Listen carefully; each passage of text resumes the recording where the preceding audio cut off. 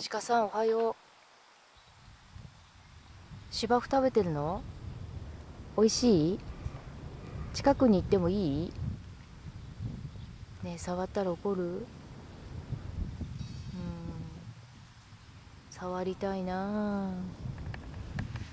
何にも美味しいものは持ってないんだけど怒られないかな。鹿さんおはよう。近くで撮影してもいいですか？おはようございます。五重の塔。鹿さん。何を食べてるんですか？かなり近くに寄ってきました。角が取れてる。うん。葉っぱ食べてるの？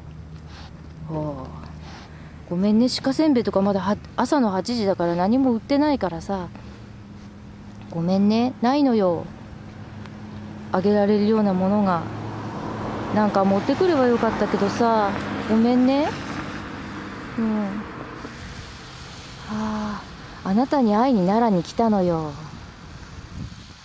鹿さん。すごいね。かっこいいね食べてますあー美味しい？よいしょ触ったら怒られるかな？怒らない？